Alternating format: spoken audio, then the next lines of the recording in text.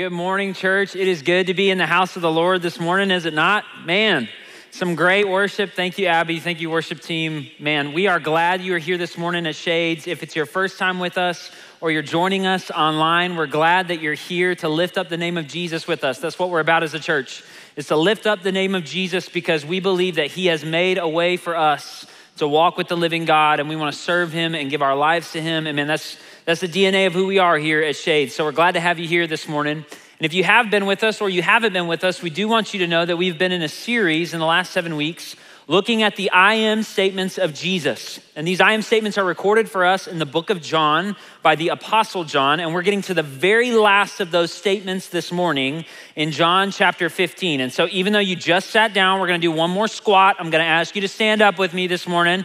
Go ahead and stand and open your Bibles to John chapter 15. Here at Shades, we stand at the reading of the Word of God. We believe that God's Word is the revelation, the way that God reveals Himself to us. That when we look at the Word of God, we are seeing what God has told us about Himself and how we are to interact and have relationship and know Him. And so we believe that when we stand at the reading of the Word of God, we are showing reverence because it is the foundation for the people of God. It is right and good and true that as the grass withers, and the flower fades, God's word abides forever. And so we stand at its reading, submitting to what it has to tell us about the living God we are here to worship. So look with me this morning, John chapter 15, beginning in verse 1, and we're going to read through verse 11 together this morning. This is Jesus speaking to his disciples. He says this I am the true vine, and my Father is the vine dresser. Every branch in me that does not bear fruit, he takes away, and every branch that does bear fruit, he prunes that it might bear more fruit. Already you are clean because of the word that I have spoken to you. Abide in me, and I in you. As the branch cannot bear fruit by itself unless it abides in the vine, neither can you unless you abide in me. I am the vine, and you are the branches. Whoever abides in me and I in him, he it is that bears much fruit. For apart from me, you can do nothing. If anyone does not abide in me, he is thrown away like a branch and withers, and the branches are gathered, thrown into the fire, and burned. But if you abide in me and my words abide in you, ask whatever you wish, and it will be done for you. By this, my Father is glorified, that you bear much fruit and so prove to be my disciples. As the Father has loved me, so I have loved you. Abide in my love. If you keep my commandments, you will abide in my love, just as I have kept my Father's commandments and abide in his love. These things I've spoken to you, that my joy may be in you, and that your joy may be full. Let's pray together this morning. Father, we recognize this morning that anytime Jesus says, I am, I am, he is making a claim about himself that is impossible to ignore. A claim about who he really is, that he is God in the flesh that has come to the earth to save us through his life, death, and resurrection. So, God, we recognize that in Jesus' statement, I am the true vine. He's telling us something eternal, something specific, something unique, something life changing about who he is and how he has come for us. So, God, I pray that you would show us this morning, that you would soften our hearts to the reality of what Jesus seeks to communicate by claiming to be the true vine. We submit to your word and your will in us today. Work in us in a new and fresh way. We pray this in the name of Jesus. Amen. Y'all can be seated this morning. Man, there is nothing quite like holding your first child in your arms for the very first time. Little did I know between when Anna became pregnant with Abe and when Abe would actually come, there was a laundry list of things that had to happen for us to get ready for his arrival. All right, so we're gonna walk through a little bit of these, okay, this morning. First, there's the nursery. You got to choose the colors. You got to order the crib. You got to test the gliders in all the different stores and all, all across the city. You got to get the changing table and assemble it. You got to get the room situated and get everything in the right place. And then there's the clothes, right? Lots and lots and lots of clothes. Thank you, grandparents, very much for all of the clothes, right? And you take the clothes and you wash the clothes and you fold the clothes and then you put them in the drawer, literally for the only time they will ever be in that drawer, right? Because once you wear them and use them again and you're up all night, washing clothes is, uh, that's a funny thing to talk about, right? Then there's burp cloths and wipes and diapers. And you got to get the car seats in the car. There's all kinds of different things. People give you toys, even though your baby can't use the toys until like six months after they're born. And you're like, what do I do with these toys, right? You get all these things together, you get them in their right place, and then that's just the physical preparation that has to happen for the arrival of a child. Then there's all the mental preparations that have to happen. The conversations with grandparents and well wishers full of advice of all different kinds on how to discipline your kids and what kind of formula you should use and how you can schedule their sleep and be baby wise, right? And read all of the right books so that you know exactly what you're doing when they come. And then there's the medical preparations that have to go in. You meet with doctors, you meet with nurses, you have ultrasounds, you check the baby's health, you check the mother's health, you talk about that day and what it's gonna be like when that child comes and what that process will be like. And you do all of these things, all of these preparations just to get ready for that baby to come. And then, and then the doctor walks over to you and you hear this crying sound. And in his hands is this tiny little baby and he goes, Here's your son. And in one moment, you realize that all of those preparations, no matter how important they were, no matter how necessary they're going to be, all of those preparations could in no way prepare you for that moment. It was in that moment that I felt so incredibly blessed and so unbelievably overwhelmed at the same time. So ready for what God had given me and so totally ill equipped to raise this little son that he had given me. I was full of anxiety and full of joy. It was the craziest kind of oxymoron of a moment I have ever experienced in my life. And never at another time had I felt so prepared and so incredibly out of my depth in the very same breath. And I know some of you in the room this morning, you haven't had a child, but we've all been in a place at some point or another in our lives when we have prepared for something when we thought we understood what we had signed up for, when we were all in and we were like, man, I'm ready to go. And then we got into that moment and we realized, oh my gosh, oh my gosh, I'm so overwhelmed. I'm anxious. I don't know what the next right move is to take. And this is the moment I really believe we find the disciples in in John chapter 15. You see, Jesus had walked with them. They had given their lives to Jesus. They had left everything behind to follow him. And now Jesus' tone began to change. In fact, the, the chapters leading up to chapter 15 of John, we see that Jesus talks more and more and more about his death, more and more and more about his departure. And we know from the scene that Pastor George set for us last week on Easter Sunday that Jesus' ministry was coming to a climax and the disciples felt it.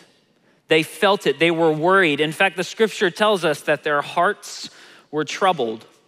And as Jesus is trying to teach them and prepare them and get them ready for him to leave and, and finally go and do the thing that he had said he would go to do, his disciples' hearts were troubled at the end of their time with Jesus. They thought their life with Jesus was coming to an end.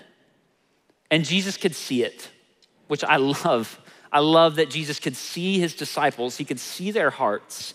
And it's at the end of, of chapter 14 that we see Jesus say, Come, let us go from here.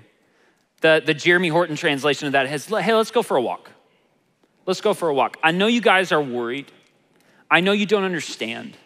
I know you thought you knew what you had signed up for, and things, man, they're just feeling to, they're feeling like they're picking up speed and they're getting out of control. Let's just go for a walk. And it's while he's on this walk with his disciples that Jesus says the words, I am the true vine. I am the true vine. You see, I believe Jesus seeks to show us in his claim as the true vine, as he was showing the disciples, that his death wasn't the end of life, but the beginning. That when Jesus says, I am the true vine, he is telling us something critical about understanding why he had to die and what his death and resurrection would mean for us. In fact, I think he tells us about the kind of life that he would make available to us through his death. And I think there are three distinctives that Jesus gives us in this imagery of that life. And these are the three things I want us to, to camp on this morning together. The first is this that through the death of Jesus, through the death of Jesus, true life will come. True life. Jesus begins his teaching to the disciples in John 15 by making a very exclusive statement about himself, a very kind of qualified statement about himself. He says, I am the true vine. The vines that likely littered the area where they walked gave physical representation to Jesus' teaching. But Jesus wasn't just trying to make a good object lesson about vines. In fact, there's a very significant meaning in the statement, I am the true vine. In fact, for us to understand just how profound Jesus' claim is in John 15, we have to understand that there was a failed vine, a failed vine that came before the true vine. Now, vine imagery is occasionally used in the Old Testament as a means of describing God's choosing of Israel as his people. And if you're newer to Bible study this morning, Israel is the nation that God had chose in the Old Testament to worship him, to know him, and to be a representation of him and his holiness to the world. But if you read the Old Testament really anywhere, if you read the Old Testament at any period of time, you'll see that Israel constantly fell short of God's requirements for them to be in relationship with Him. And it was in times when Israel had fallen short, when they were living contrary to God's law, that God would send people called prophets to warn them to turn back to Himself, to give them a warning that they were headed in the wrong direction. And it's in one of these moments that we see the prophet Isaiah use the imagery of planting a vineyard as a means of describing God's relationship with His people and the sinful place they found themselves in. It'll be on the screen this morning, but look with me at Isaiah chapter 5. Isaiah says this Let me sing for my beloved my love song concerning his vineyard. My beloved had a vineyard on a very fertile hill. He dug it and cleared it of stones and planted it with choice vines. He built a watchtower in the midst of it and he hewed out a wine vat in it. He looked for it to yield grapes, but it yielded wild grapes. And O inhabitants of Jerusalem and men of Judah, judge between me and my vineyard. What more was there to do for my vineyard that I have not done in it? When it looked when I looked for it to yield grapes, why did it yield wild grapes? We see clearly in Isaiah 5 that God had done everything necessary to plant Israel as a vineyard that would flourish and bear fruit, but instead the Bible tells us it only bore wild grapes. The imagery here is meant to show us that although God had given Israel everything it needed to worship Him rightly, they knew exactly what they had to do to worship God rightly, but they just couldn't do it. They just couldn't do it. Their good works weren't enough to please God. Their hearts constantly went after other affections and other things that pulled them away, and their lives bore no fruit. They were, in essence, a failed vine. When we contrast this imagery in Isaiah with the statement made by Jesus in verse 1 of John 15, we begin to understand just how significant it was that Jesus would claim to be the true vine. In this verse, Jesus is claiming to be the new channel of life between God and man.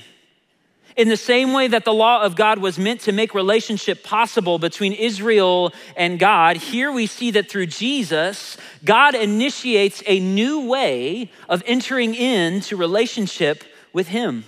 And unlike the law, which only magnifies our inability to know God by our works and by what we do, through Jesus, we are invited to experience life, true life with God, by grace through faith. When Jesus claims to be the true vine, he makes it clear that the saving work of God comes no longer through the law, but through faith in his life and in his death and in his resurrection. We saw this in the I am statement we looked at together last week in John 14. I am the way, I am the truth, I am the life. It's exclusive. There's one way. There's only one way that we can enter into relationship with our Father. But we know in our culture today, just as Pastor George pointed out last week, it's a very intolerant way of thinking in today's day and age. It may even seem arrogant for us to say there's only one way to God. And the culture tells us that not only is there there's multiple ways and there's multiple different things we can run after in our lives, but if we run after those things, we're gonna, we can find life in those things. We can find life that, that gives us purpose, gives us meaning, gives us satisfaction. If we just run after the desires of our hearts, then we'll find what we're looking for. But Jesus tells us something totally different here. Jesus' claim as the true vine reminds us that true life begins for us only when our greatest need is first addressed. You see, our pursuit for satisfaction and fulfillment and purpose, true life, and so many other things is actually only a symptom of the sin that has separated us from the life that you were made, created to experience with God Himself. That true life, life that would satisfy you, that would give you purpose, that would give you meaning, that would fulfill your heart's most deep longings, it can only be found in the true life that Jesus makes available to us in God.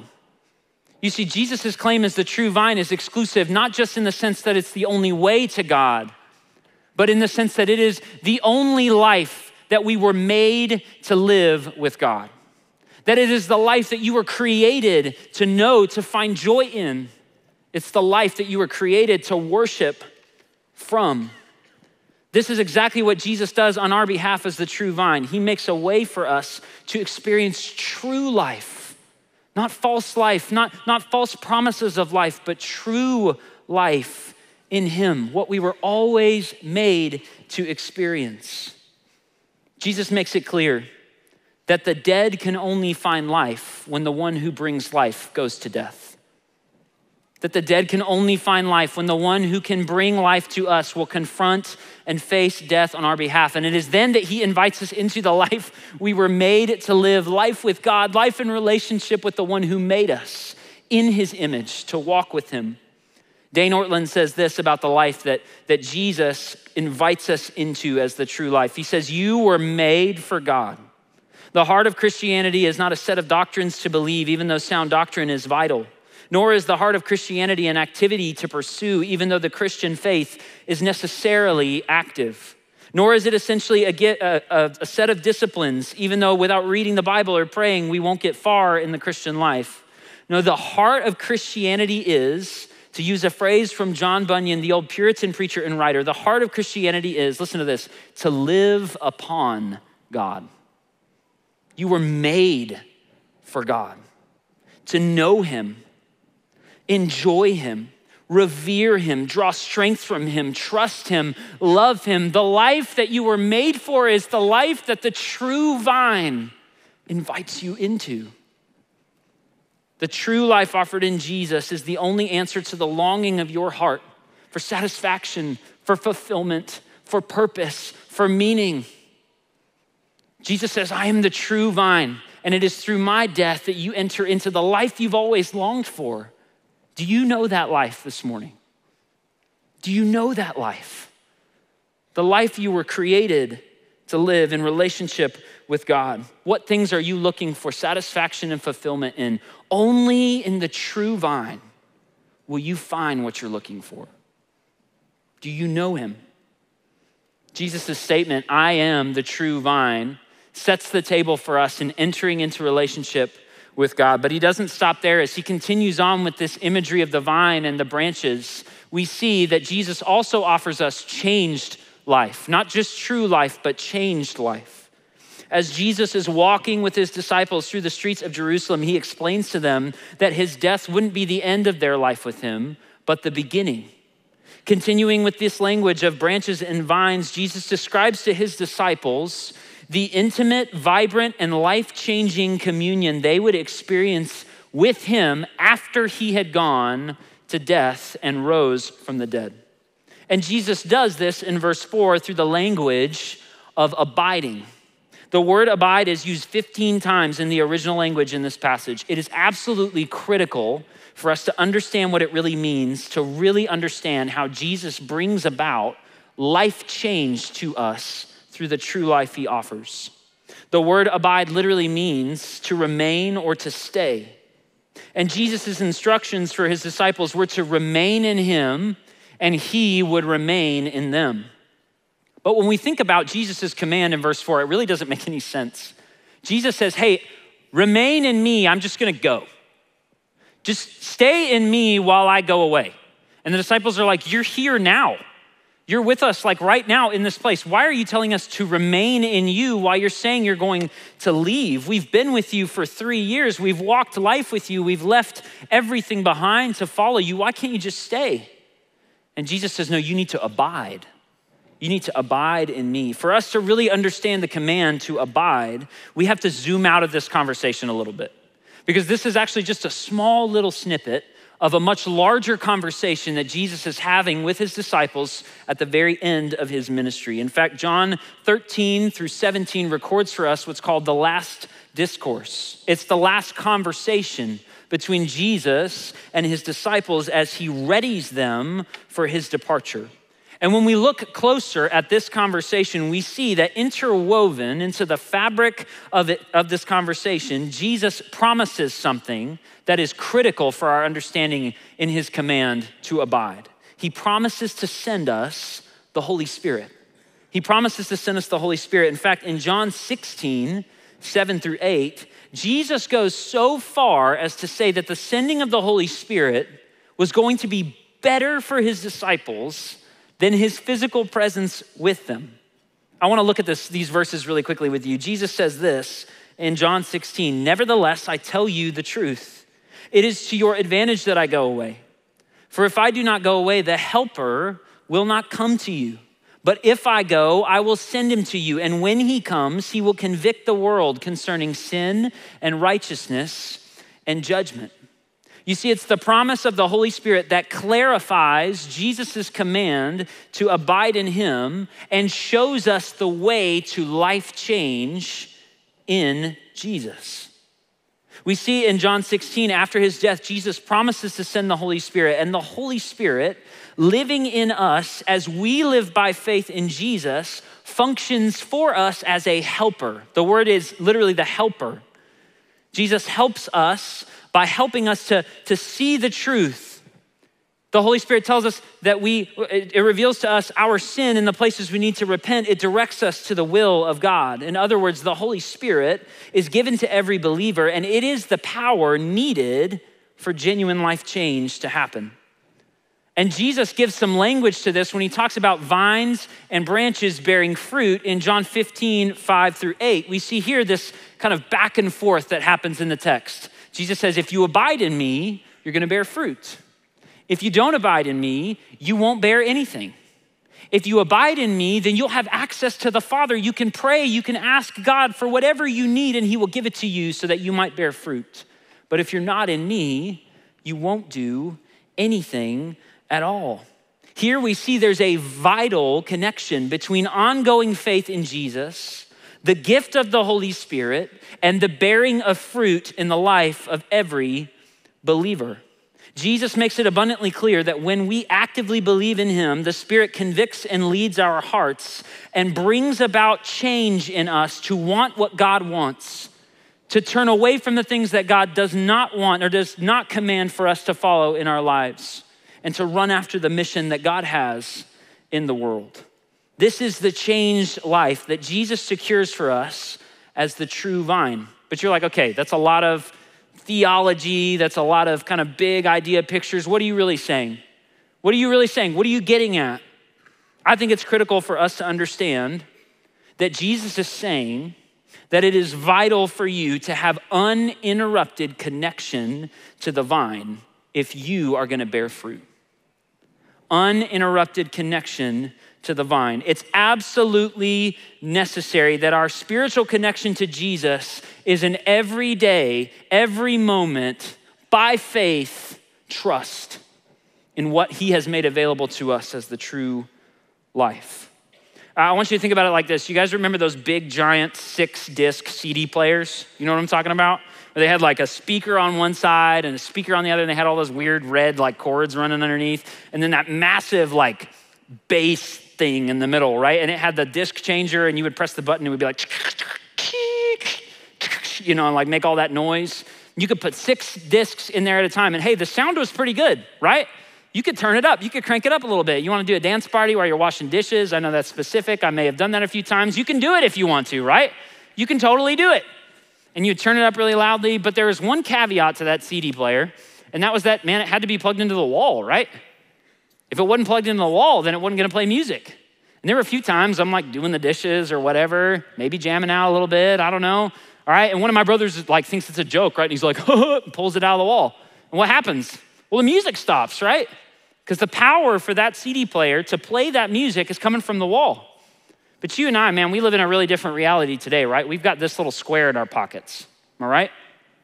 This thing has access to any kind of music anytime you want to. And the most beautiful part about it is you just charge it up once, twice a week, and it's there. It's always ready to go, right? You pull it out of your pocket when you want it, you play the music whenever you want it, you've got it right there. I think one of the, the things we miss most clearly in the Christian life that Jesus offers to us is the true vine, this life he's offering, what we miss is we think of ourselves as an iPhone and not a CD player. We think that if we just plug in every once in a while, if we just get a little bit of a charge, get a little bit of a boost, then the life that we're supposed to live, the life that honors him, we can just do it on our own and just charge up a little bit. And then when we sense our batteries are going low, we can just kind of plug back in. We can make it happen. But Jesus is telling you this morning, I know this may be bad news for some of you, you are a CD player. No ifs, ands, or buts about it. If you are not plugged in, you will not play music. If you are not plugged in, you will not play music. Jesus tells us, as the true vine, if you are not attached to me, no fruit will come. This is not a situation where you charge up on Sunday and then live your life during the week and come back and get another charge. No, Jesus says changed life, true life comes when you are connected to the life day by day, moment by moment through faith and the power of the Spirit bearing fruit in your life. This is the life that Jesus has accomplished for you. Matthew Henry says it this way true, true Christians find by experience that any interruption in the exercise of their faith causes their holy affections to decline, their corruptions to revive, and their comforts to droop. Those who abide not in Christ, though they may flourish for a while in outward profession, yet come to nothing. Yet come to nothing. Jesus is clear that being one with the vine as a branch that wishes to bear fruit is an ongoing, day by day, vital, life dependent connection. This is what it means when we say He is the vine and we are the branches. The vital connection, He is the power source that if we unplug at all will result in no fruit. Jesus is calling on those who desire to receive his life to be dependent on him day by day by day by day. Can I ask you, are you convinced this morning that you cannot be the father or the mother, the husband or the wife that God has called you to be unless you have been with Jesus? Are you convinced of it? Are you convinced this morning that you cannot be the employee or the boss, the supervisor that you want to be in the name of Jesus unless you have been with Jesus. Because what Jesus tells us is we can't unless we've been with Him. It's through the power of the Spirit alive in us that gives us the power we need to live a changed life that represents the true life that we have been invited into because of Jesus' death and resurrection. Are you dependent on Jesus this morning? As we get to the end of John 15, I believe there's one other way that Jesus distinguishes the life he offers from the life that we would find anywhere else, and that is that it is an eternal life. It's an eternal life. We see this in verses 9 through 11.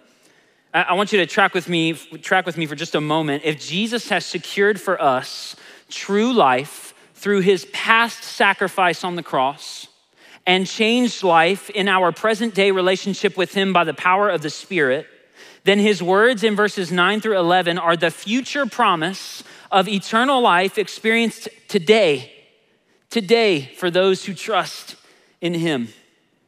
You see, as Jesus is with his disciples and they're confused and they're anxious, he comforts them by reassuring them that his love is their love.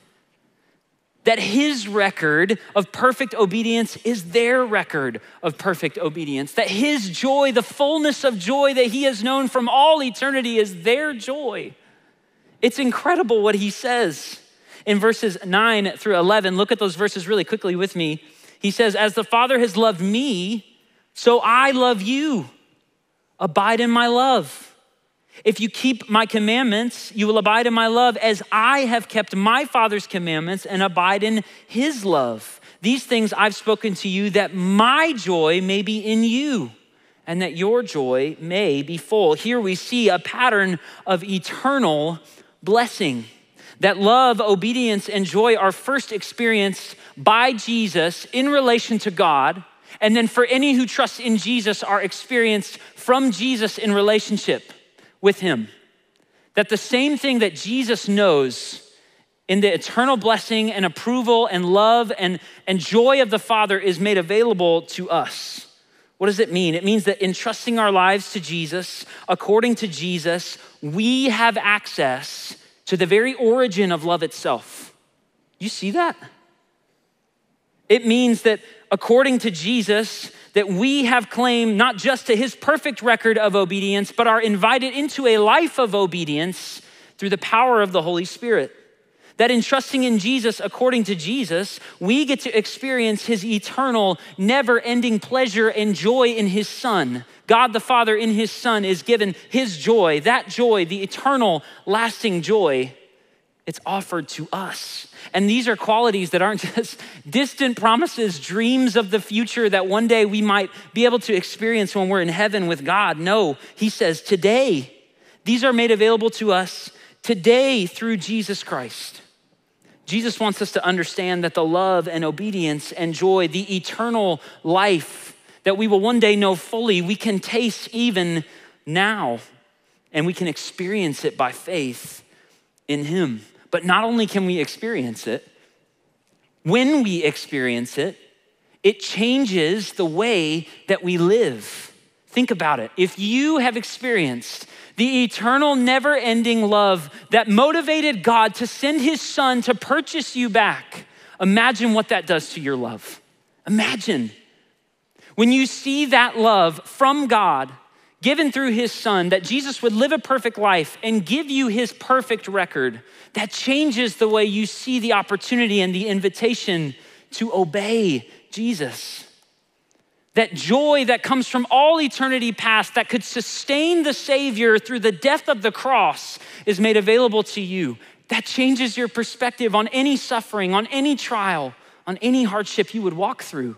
You have the joy of the eternal relationship of God and his son. Can you imagine? Just dream with me for a moment. We're gonna, we're gonna dream a dream. Let's dream for a moment, okay? What if the church, what if Shades Mountain Baptist Church was so fueled and characterized by these eternal realities today that we loved hurting and lost people with the same depth of love that God does? Imagine. Can you imagine? If the church today, if Shades Mountain Baptist Church took so seriously what it meant to walk in holiness with God because of the love He has shown to us, that we were an example to the world of the good life that we can live in obedience to Jesus. Can you imagine? Can you imagine if, if the world looked into Shades Mountain Baptist Church and saw all of the same suffering and hardships that the brokenness of, of a sinful world brings about, and yet people with joy and hope in the midst of those circumstances? Can you imagine? Can you imagine? I'm convinced that the eternal life that Jesus offers to us today as followers of Christ is one of the most powerful witnesses of the gospel that the world could ever see that the world could ever see.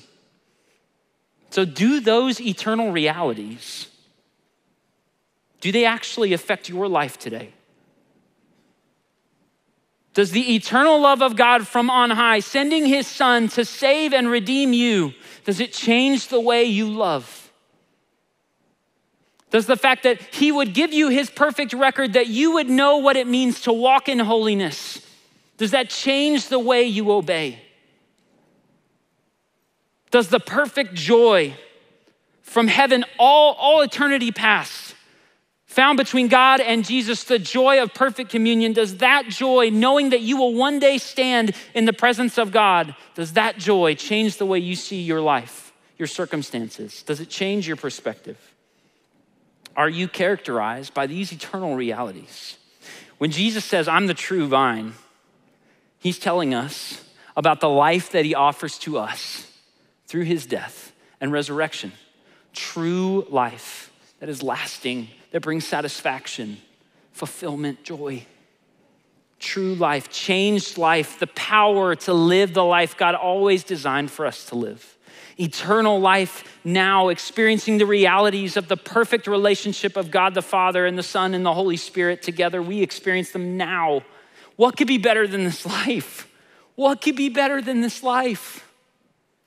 I'm convinced that nothing, that nothing is better than knowing the true vine. Do you know the true vine? Are these the reality? This is what Jesus has purchased for you. This is the life, not just fire insurance. This is the life. Is it the life you know? As we close this morning, I want us to think just a little bit about where we've been over the last seven weeks. And I think there's a scene in Luke 9 that helps us to kind of frame where we've been as we looked at the I am statements of Jesus. In Luke 9 18, we see that Jesus is praying alone and his disciples are kind of in the vicinity of where he is. And Jesus turns to them and he just kind of says out of nowhere, Hey, who do the crowds say that I am? And the disciples are like, Well, you know, they've thrown some different things out, they've tossed some different names out. They say you're Elijah, come again. They say that you're just like John the Baptist. They say that you're a prophet coming to reveal and say the things of God.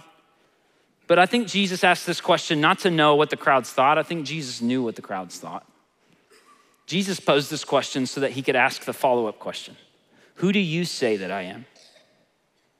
Who do you say that I am? We've heard who Jesus says that he is. We've heard him say it I am the bread of life. I am the light of the world. I'm the gate for the sheep. I'm the good shepherd. I'm the resurrection and the life. I'm the way, the truth, and the life. I am the true vine. In every one of these statements, Jesus has made his claims known. We know unequivocally who he is and why he came. He didn't hide it. The question is, who do you say that he is? Who do you say that he is? You know, the answer to that question is the most important answer you'll ever give. Because he tells you that if you believe in who he says he is, that you turn away from your sin and that you trust in his finished work through his life, death, and resurrection, that this life, that this life has been purchased for you true life, changed life eternal life. What could be better? Who do you say that He is? Who do you say that He is? Let's pray together this morning. Father, we want to believe in who you are. God, so often in my own life, I find myself thinking the same words as the man in the Gospels, God, who sought your help to heal his family. He said, I believe Help my unbelief. And God, we find that when we hear the eternal and lasting claims of your son Jesus in the book of John, when he says, I am, we know, God, that we want with all we have to believe, and yet so much of it is so hard to believe when we face our own sin, when we're working through the struggles in our own life, when the realities and the busyness and the, and the lists of life, they just they just rage on and on and on and capture our attention. But in this moment, God, there's no escaping the question Who do we say that you are? Because you have said to us that if we would put our faith in Jesus, we would know what it is to have true life, changed life, eternal life. So, God, I pray that if you are at work in this place right now, we believe you are. God, I pray that you would show us where we have made your life less than what you have truly offered to us, and that you would call us to the life that the life, death, and resurrection of Jesus has made available in the true vine. We pray this in Jesus' name. Amen.